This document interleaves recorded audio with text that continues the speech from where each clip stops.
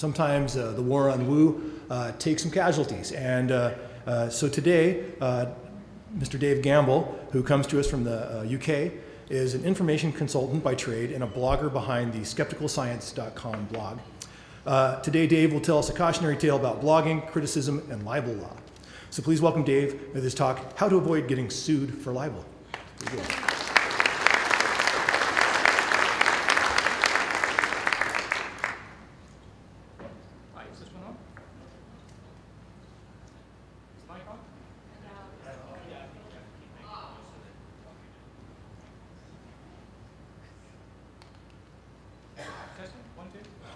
Nope. Success. Okay, right. I got sued for $3 million. Now, you might argue they're not real dollars because they were Canadian dollars. okay, I've got four points to bring to you today. It's a, it's a cautionary tale. Now, just out of curiosity, who, who here blogs? Okay, who drops comments on blogs? Yeah, because you're at risk as well. I didn't appreciate this. So the tale goes back uh, to about April of last year when I wrote a posting on Sai Baba, that well known charlatan, fraud, and oh, sorry, I'm not being politically correct, um, asshole. No. Okay, so I'm, I'm not quite from the Penn and Teller uh, School of uh, Litigation. Fraud. I, I, basically went through the details of who he was, what he had done, what his claims were. and here's the uh, evidence that he's clearly a fraud. And that generated the usual kind of responses in the comments. I had various folks who went, whoa, and explained why he was who they claimed he was, and others who piled in after and said, no, no, no, no, no, it's, it's all quite, quite correct. Now, what actually happened was that I got one specific comment from somebody who goes, ah, well, if you're blogging about uh, false gurus, there's a Canadian bloke who does all the same magic tricks. And he's living a rather lavish lifestyle and went through all the details. It was an anonymous comment from somebody I had no idea who they were. And that was interlaced to about comment 14 or 15, I think. In response to that, I get a rather bizarre email. It was an email of complaint. Um, apparently, this particular comment was slanderous, which was a rather odd thing to say because slander is a legal term that applies to spoken communication, whereas this comment was written down. The other thing that was rather odd about the email was that um, apparently the commenter had linked to a website that did not belong to him. It went on in this kind of tone. There, there, was, there all sorts of bizarre stuff. And towards the end, well, I'm so horribly upset about this that if you don't do something about it, I'm going to sue you. And, oh, by the way, best regards. Who the heck sends a threatening letter and signs it best regards? So I, I couldn't resist that one. Now, I think this is where I first made a catastrophic mistake, because this was, in fact, a letter of complaint. Or should I say email? Okay. So, yeah, they were cretinous lunatics. But it was still a letter of complaint. Now, there's a couple of things here. It was an anonymous email. They were very vague and waffly. I should have actually formally sent them a letter saying, okay, right, I need to know who you are. I need to understand what your complaint is. I, I need to I, I, instead, I didn't do that. I went through their email line by line, decimating it. well, I couldn't resist. What would you have done? Well, the reaction was I, I saw a few more comments that appeared on the blog, and I assumed, oh, they're, they're, they're going to blow off steam that way. And that, I thought that was the end of it. Unfortunately, the, the email I actually had sent to them in response was sufficiently provocative to motivate them to go, right. And so I got um, a letter of complaint, uh, formally from a lawyer based in Canada. Now, I live in the UK, so you kind of think, okay, right, this guy's written a letter, Um, he's arranged for it to be delivered to my home address. Well, yeah, okay. So I don't keep the, I don't keep a secret as to who I am or where I am. That doesn't matter. And it was. Has the mic gone off? Nope. Back on. Okay. And so inside the letter, um, he basically said, yada yada yada. You posted this. Please take it down, um, or else. And I thought to myself, come on. It's not the posting he's complaining about. It's just one comment. Now, I chose to ignore it. Think to yourself now, I, I, live in the UK. This is a guy who's in Canada. What can he possibly do? You know, even if he takes me to court in Canada, I, am a foreign citizen. I have no assets in Canada. I don't care anything about Canada. No, my, is the mic cutting in and out? Is that okay? Right, okay. So I thought to myself, well, who would be stupid enough to actually go to court and sue me over one comment. No, nobody could be that stupid. I mean, really, come on. Well, they decided to prove that thought wrong. okay, this was my second big mistake. If you get a legal letter, don't ignore it. Take some action on it. Now, the first point here is okay, take it down, whatever they're complaining about. It's not permanent. If you take it down, what's to stop you then having a nice, friendly, or formal dialogue, establishing the facts, working out what exactly is going on, and if there's no credibility to what they're saying, you can post it back up again. Or not, as the case may be. Okay, so what happened next? They decided to actually sue me. They issued a statement of claim from a court in Toronto.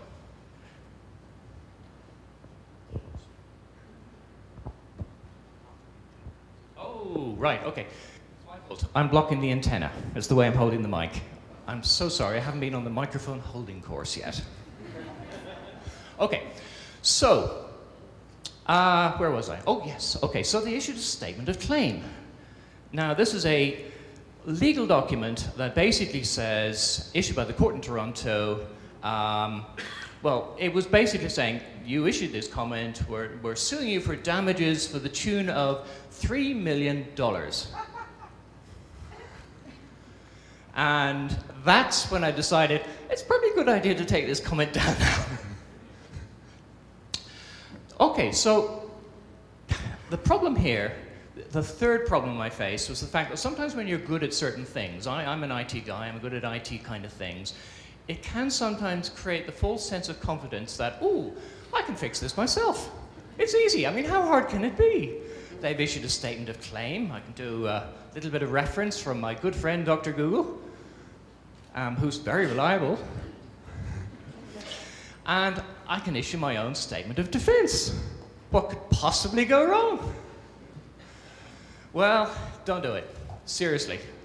Really, really don't do it. What actually happened was that I was perceived to be a very, very small fish, and they proceeded to eat me for lunch. Because this wasn't the plaintiffs who were dealing with this, they had hired professionals. Okay, so here's what I should have done I should have tapped into my skeptical network. And this is how, in fact, I finally resolved things. There are many, many good people out there. In fact, there are many, many good people here who are more than willing to help and more than able to help. And so, what I eventually did was that I posted a comment on the JREF forum, which, well, a quick summary of it is basically help. and a few very good folks came along and said, well, this and that and the other, and several of them said, ah, you need to talk to, and pointed out uh, one of the forum leads uh, who was a lawyer in Canada, in fact, in the very same city, uh, Colleen Robertshaw. Uh, by the way, Colleen, are you in the room? No? Okay, well, she, she was a tremendous help. And she gave me some very, very good advice. Uh, she took the time to go through all the paperwork and said, right, okay, so you need to do this, you need to do that. And finally, I was on the right track.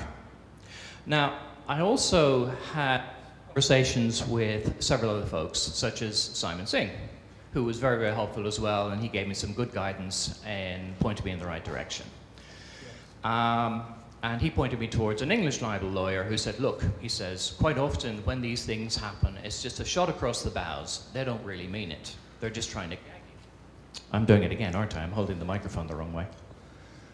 Okay, so he, he, his observation was from his experience is that people quite often uh, will back off from a position of strength. And this was confirmed. This is actually what happened because Colleen said, right, okay, send a formal little note to the plaintiff's lawyers saying that you are going to engage legal counsel. And that's exactly what I did. And the very next response, almost immediate response I had back from them was, ah, right, okay, right. Um, tell you what, take the comment down and we'll go away. to which I thought, yeah, you know, that's not a bad idea.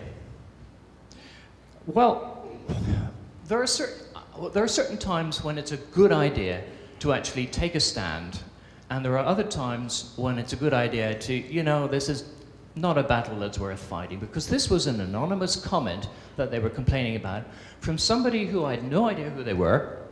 And yes, some of the comment was quite factually correct, and some of it actually was libelous.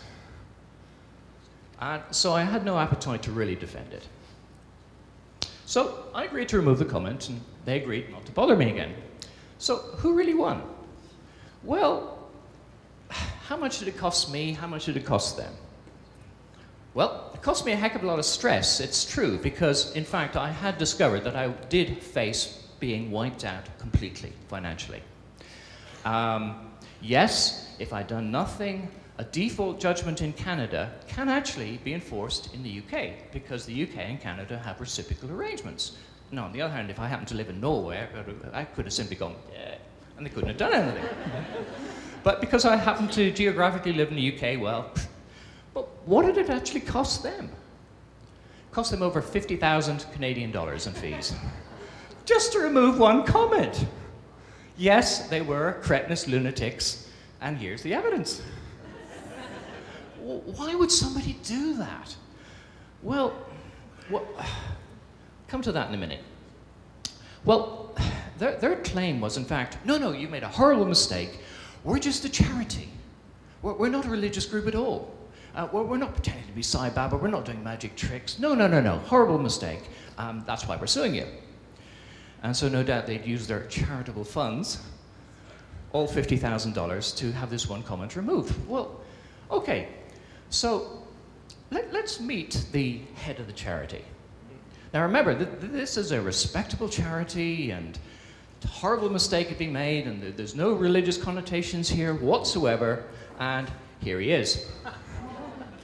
oh, he's dressed as Sai Baba. Oh, he even, he even has a photograph of Sai Baba in the background. Yes, they were a small minority religious group. So what would motivate these people to be so concerned about one comment? Well, what I've since discovered was that this gentleman, and I use the term very loosely, was in fact currently on trial as the uh, fixer in a bid rigging scam. And so what they were actually doing was going through the internet and attempting to remove anything negative said, said about this guy so that when they presented their case in court for the bid rigging scam, he would look nice and squeaky clean. So that, that's really what was motivating these folks. But in the end, I mean, what actually happened to me was pointless, it was frivolous, and I suspect it could have been avoided.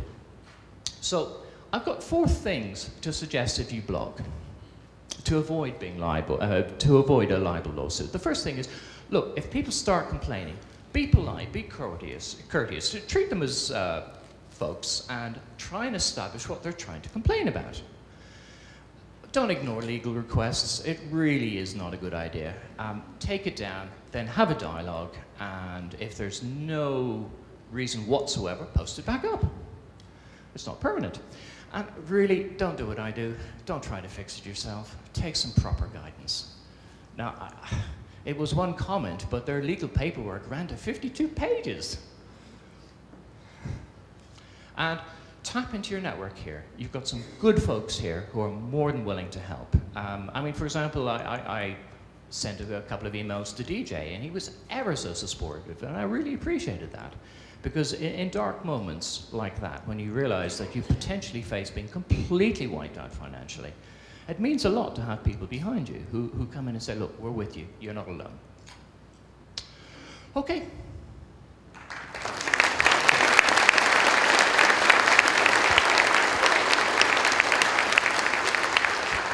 So I'll use the podium mic. Do we have any questions for David? Any questions?